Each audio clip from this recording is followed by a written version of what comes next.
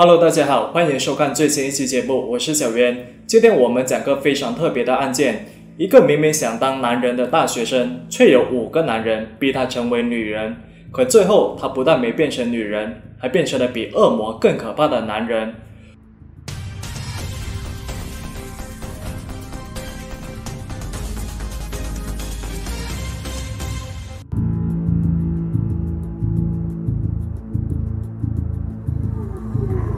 故事的主人公名为李一江，老家在中国的山东省，家里有两个哥哥。由于他父亲不幸患上了精神病，所以在李一江很小时便被托付给他北京的姑姑照看。在姑姑身边，李一江度过了快乐的童年时光。在北京读完小学后，李一江被接到了新疆的昌吉市，随父母一起生活。原以为告别北京只是单纯的告别姑姑，告别大城市的繁华，可让他怎么也没想到的是。他告别的是天堂，而迎接他的则是地狱。由于父母是普通工人，所以一家人的生活过得非常清苦。李江父母的爱已经完全分给了他的两个哥哥。在他的印象中，他觉得在这个家里自己就好像是外人。其实，在生下李一江之前，他的父母就特别想要个女孩，以后还能卖个好价钱。可不料又生了个儿子。逐渐的，父母喜欢把李一江当做女儿那样养。这使得幼小的李一江越来越沉默寡言，可他的这种孤独和沉默却总被邻居当作优点。你瞧瞧人家隔壁李一江，一天到晚都那么听话，哪像你三天不打上房揭瓦。而更让李一江无法忍受的是，母亲因为患有精神病，所以在家里经常会无缘无故发疯，小到莫名其妙发脾气，大到砸东西和打人。李一江的两个哥哥也许习惯了挨打，一看到妈妈发脾气就跑得无影无踪。而年纪最小的李玉江，自然也就成为了他母亲的出气筒，经常不分青红皂白的就被拽过去一顿暴打。而内心无比委屈的李玉江，很想找到人诉说自己的遭遇，但是他身边除了酗酒的爸爸以及两个根本不跟他玩的哥哥之外，就只剩下陌生人，没有人会去关心这个十岁孩子的内心。以前在北京那个活泼开朗的李玉江，如今已经变得抑郁寡欢。李玉江希望能够从父亲那里得到精神支撑，但是工作的劳累、妻子的患病、家庭的困顿，让他父亲也患上了抑郁症，后来还染上了酗酒的恶习。前脚被发病的母亲打完，后脚就被喝醉酒的父亲接着打。这种可怕的经历对于李玉江来说，却已经成为了家常便饭。而在新疆与父母一起生活的日子里，李玉江无时无刻都希望能够回到北京，回到那个和蔼的姑姑身边。几年之后，李一江来到了十五岁，身形呢也越来越高大。可在帅气的外表之下，李一江却藏着一颗无比抑郁的心。每天放学之后，成为班长的他总是在学校里磨蹭到很晚才回家。很多人都以为他是一个以孝为家的好学生，实际上，李一江是在躲避自己的父母，躲避那个可怕的黑洞。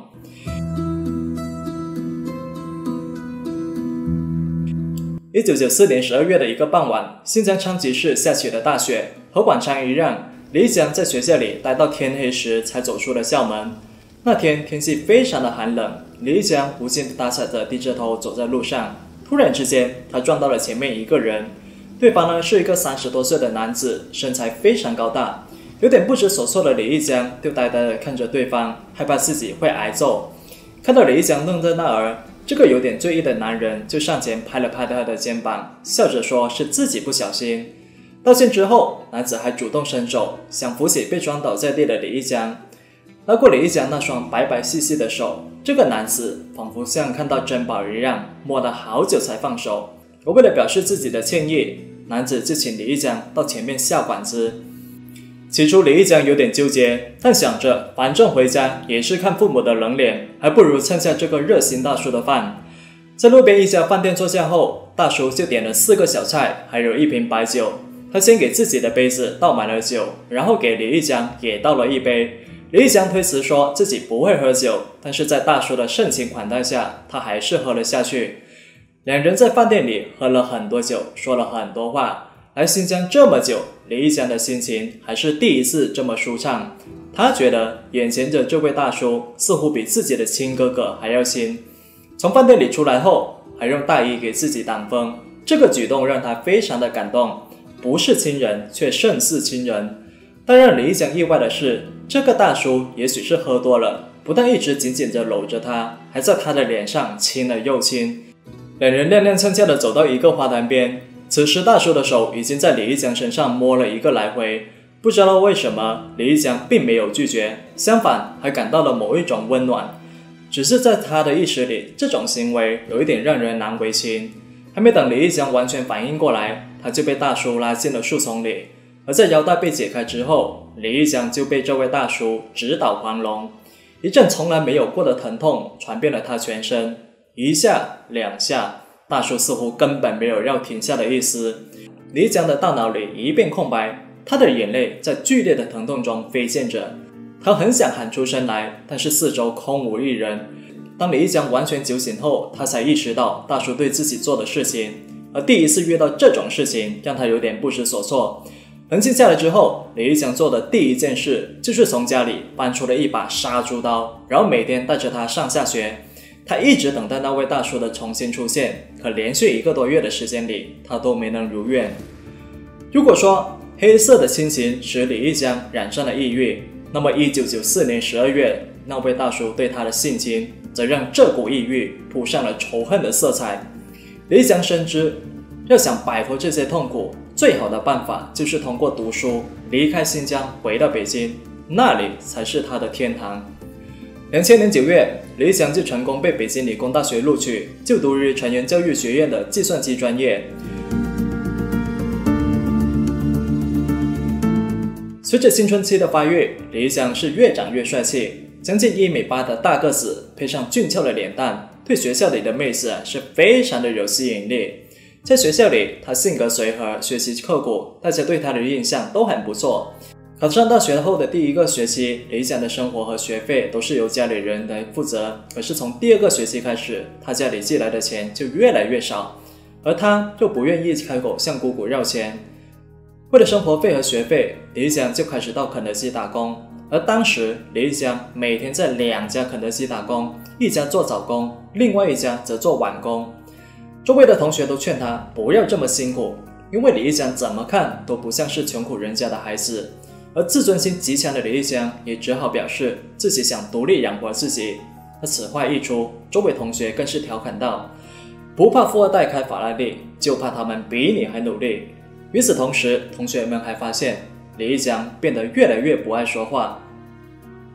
这位同学表示，在大一的时候，有个在附近高校读书的女孩，经常到宿舍来找李一江。这个女孩子个子很高，长得呢也非常的漂亮，是在成人高考补习班时认识李一江的。这个女孩每次来时都会带点小礼物，但是李一江对她呢却一直不冷不热。那就这样，大概持续了两个多月，看到李一江没有什么反应。这个女孩呢就很少来了。好奇的室友就问李一江：“你不觉得自己错过了一个女朋友吗？”那对此，李一江就解释说自己对她没有感觉。那这时有人就开玩笑说李一江是个同性恋，所以才不喜欢人家。而李一江起初并不承认，他觉得自己不是同性恋，也许是因为母亲的虐待，让他从小就非常讨厌女人。那后来同学再问他是不是同性恋，他都懒得辩解了。二零零二年六月，李江来到了北京朝阳区的一个酒吧，在这里，他的命运列车再次偏离轨道。而引偏李江的人是个比他只大一岁的男子唐某。唐某是北京人，父亲呢是某企业的总经理，而母亲则是政府高层领导。唐某从名牌大学毕业之后，就直接去了一家著名的外企工作，成为了高级白领。工作后，他就从家里搬了出来，单独住在海淀区的一套房子里。但英俊潇洒的唐某实际上是个同性恋，他来酒吧就是来寻找同道中人。而李玉江也是误打误撞来到了这个基友酒吧。当他刚坐下时，就被唐某盯上了。不知不觉间，时间已经来到了凌晨两点。而在酒精的作用之下，李玉香就分享了自己的人生经历。唐某听完后觉得非常的震惊，他表示愿意无偿帮李玉香渡过难关。如果李玉香愿意的话，可以搬到他的房子。和他一起住，反正那么大的房子，自己一个人住也是非常无聊。如果觉得不好意思呢，那就帮我负责搞卫生。而在冰冷的大城市里，唐某的善意就让李一江非常的感动。聊天中，李一江获悉唐某是个同性恋，而半夜三点时，李一江和唐某两人就从酒吧里走了出来。唐某邀请李一江到他那里暂住，李一江很紧张，但他最终还是答应了。而在助手昏黄的灯光下，唐某就开始亲吻李一江，接着直接把他推倒在床。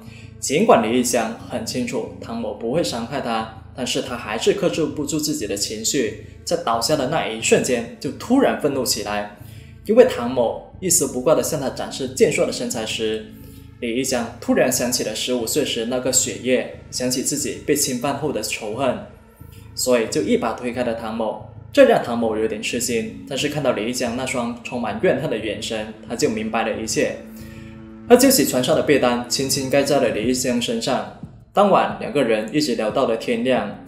李一江把少年时的屈辱全部说给了唐某听，而唐某也给了他很多安慰。从此之后，唐某就成为了李玉江形影不离的伴侣。那确切的来说，是李玉江被唐某给包养了。唐某负责李玉江生活和学习的所有开支，而作为报答。李玉江则把唐某的住所给收拾得非常的干净，而且非常的温馨。不知情的人还以为唐某请了个保姆。即使知道这有违常理，但李玉江还是沉迷在这种狂乱的同性之爱中。在内心里，李玉江还是希望做个男人，但现实的挤压一直强迫他在男女之间来回转换。在这种矛盾中，他越来越没心思学习。在一期末考试中，他连挂了三门课程，最后索性直接放弃了学业。大二上学期时，根本没心思参加考试。从二零零二年九月开始，他从学校退学，然后搬到了唐某的住处，跟他过起了所谓的夫唱妇随的日子。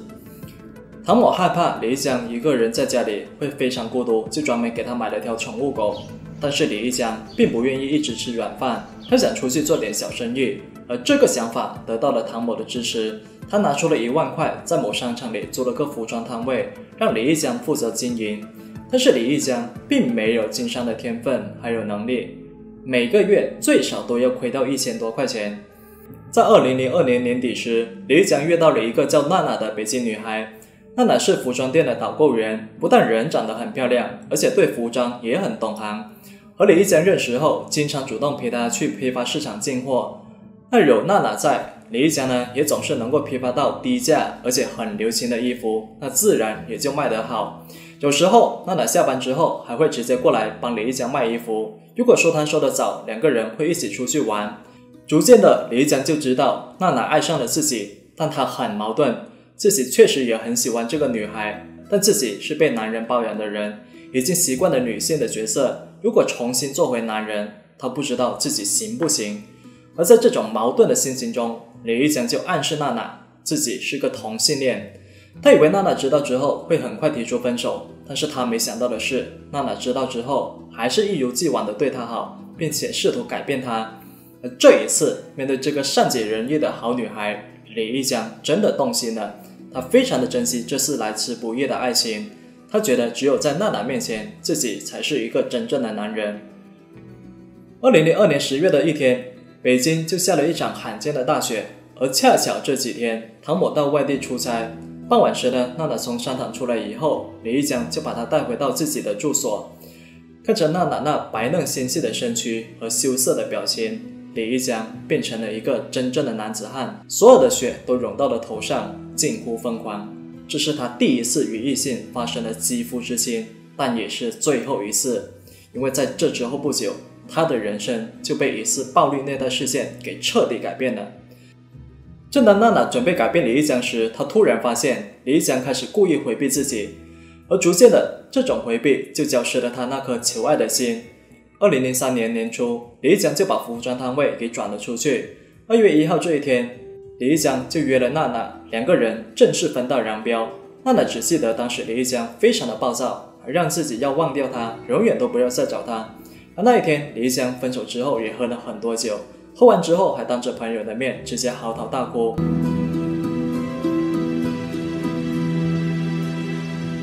与唐某同居后，虽然李一江对唐某产生了感情，但是这种感情混有金钱的杂质，远不是纯粹的爱情。一个需要钱，一个需要性。唐某虽然很喜欢李玉江，但他还是把李玉江介绍给了自己的同性恋朋友。那由于当时同性恋群体数量比较少，而且大家呢都比较低调，所以想在这个人群中满足自己的性需求，难度还是非常大的。而在他们这个圈子里，根据男女生理特征的区别，他们就把男性称呼为一号，把扮演女性的男性则称呼为零号。而像李易江这样出色的零号是非常少见的。他既有男性健硕的身材，又有女性性格上的柔弱。但是这种柔弱一旦被侵犯，就会变成致命的报复。而在李易江的意识里，他对唐某的感情是不可亵渎的。唐某把李玉江介绍给别人的同时，也给他带来了被玩弄的耻辱。因为在与这些同性恋群体的性关系中，李玉江往往都是处于女性的角色，而这种被充当玩物的感觉，让他根本就无法接受，甚至是非常的耻辱。二零零二年十一月底，李玉江就到朝阳区的一个舞厅跳舞，跳到一半时，他认识了四个陌生男子，年龄都跟他差不多。聊了一会儿之后，几个人就获悉彼此都是同性恋。那接着，这四个人就提出要到别的地方去玩，而李玉江来不及多想就同意了。他来到北京东三环附近的一个私人住处，几个人就继续喝起了酒，那期间也继续吹水，还说着许多少儿不宜的话题。那不知道为什么，原本酒量挺好的李玉江在那里还没喝上几杯就已经倒下了。而半夜三点多钟时，他醒了过来。结果发现自己一丝不挂，身上呢还被人用绳子绑着，绑在屋里的暖气管上。刚才聊天的四个男人，此时也全是一丝不挂，正在轮流强暴她，同时还用鞭子抽打她，用蜡烛和烟头烫她。整个过程持续了足足一个多小时。回到住处后的李玉江放声大哭，他的心里就像被尖刀狂刺那样疼。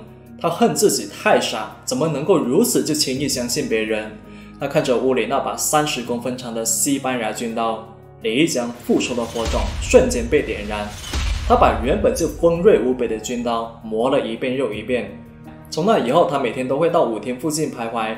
一段时间后，他终于找到了其中一人。他暗中跟到对方住所，发现这个男子住在丰台区的一个平房。这个男人回到住处后没多久，就离开住所，来到了酒吧。而等那个男人的电脑闹钟下线后，李想就赶紧上前记下了他的 QQ 号码，也查到了这个男人进入的聊天室，叫做北京同志。回到住所后，他马上就加入了这个聊天室，并且申请添加这个男人为 QQ 好友，不停的在网上等待他的出现。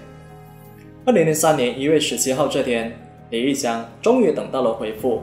原来对方的网名叫做收费奴，聊天时对方还表示可以当零号，被捆绑、被虐待都可以接受，全过程只需要八百元，买不了吃亏，买不了上当。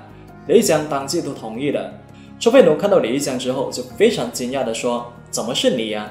因为他发现李一江看起来非常的眼熟，他似乎想起了曾经虐待他的事情，但是李一江害怕自己被认出来，就糊弄说这是缘分啊。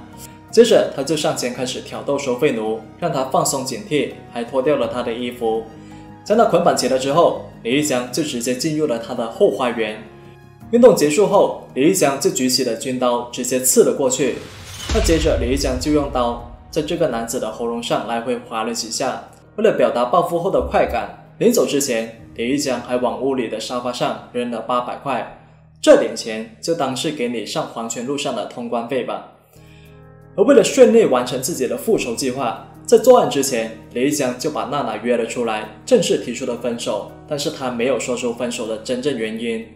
他造化弄人，你爱的人他不爱你，你想爱的人却没法去爱。解决第一个人后，李江在中关村一带找到了第二个目标。和上次一样，他也是先跟踪，再偷偷获取到联系方式。而这一次的目标是个在校的外语研究生。在晚上聊熟之后，李玉江就带着自己的刀到了他的家里。那一阵小高潮过后，李玉江就把音响开到了最大声。那伴随着音乐的节奏，李玉江对猎物的折磨也来到了高潮。最后直接帮他割喉上路。接着是第三个二十六岁的目标，在四个复仇目标中，这个人年龄最大，身体最强壮。李玉江杀死他之后，还让军涛给他开膛破肚，另外还免费送了阉割手术。那至于倒数第二个目标，他则是个在校大学生，在一家宾馆里被李义江给虐杀。那根据官方的统计，还有李义江交代的口供，他总共杀害了五名男性，而这五个人全部都是男同性恋。他捅了他，他杀了他，在一次又一次的杀戮中，李义江体会到了快感，而这种快感远不是简单的多巴胺能够匹及的。但与此同时，他也引起了警方的注意。猫与老鼠的追逐已经悄然拉开。从二零零二年年底到二零零三年三月，北京连续出现了多起凶案，就引起了警方的高度重视。二零零三年四月四号这天下午，李义江就被警方正式逮捕。其实，对于李义江来说，他何尝不渴望男人的强大还有尊严呢？但是最后又不得不依附于现实中的男人，这种痛苦最后直接转化成他在杀戮时的宣泄。甚至是报复，而在男人与女人之间，李玉江被迫选择成为了女人。他喜欢男人，又痛恨男人，而最终他选择杀掉逼他成为女人的男人。其实同性恋本身没有错，错的永远是丑陋的人性。我是小渊，我们下期再见。